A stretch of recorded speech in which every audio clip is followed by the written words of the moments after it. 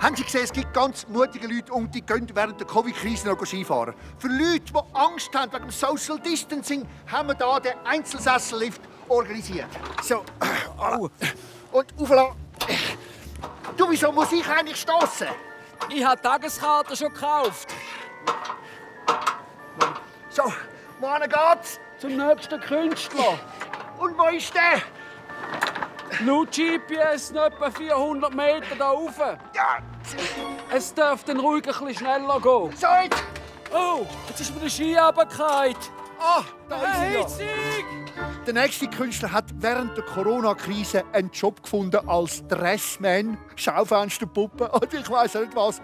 Corona-technisch wieder hinter der Scheibe. Der Manuel Stahlberger. Ja, ich bin äh, nicht sehr viel auf einer Bühne anzutreffen. Im Moment ich arbeite jetzt hier in dem Schaufenster, aber das ist schon gut, das ist schon gut. Man soll da nicht immer negativ sehen. Ich meine, das Jahr 2020 ist jetzt endlich vorbei und fürs neue Jahr können wir uns wieder coole Vorsätze machen.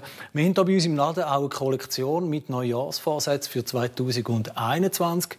Ich persönlich will 2021 niemandem die Hand geben.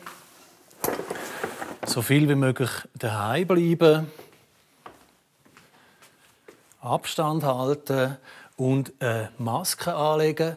Das Gute ist, die Neujahrsvorsätze sind auch im 2022 immer noch modisch. Also wir können die T-Shirts gut zwei Jahre lang tragen, einfach 30 Grad waschen, nicht wärmer, und nachher haben die locker.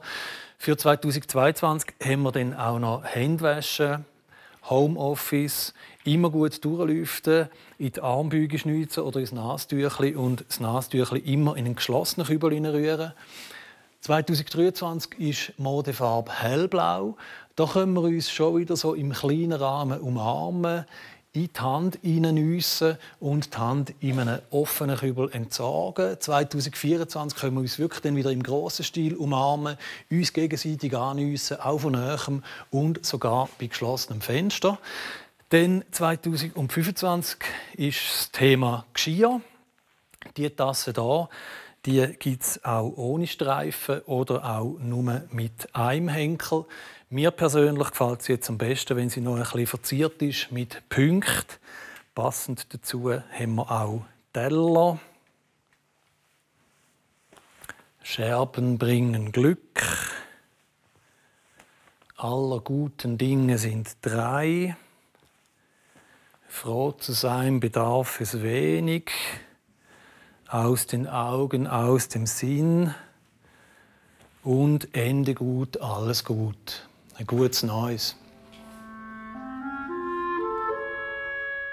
Der Manuel Stahlberger haben wir da gesehen. Grossartig.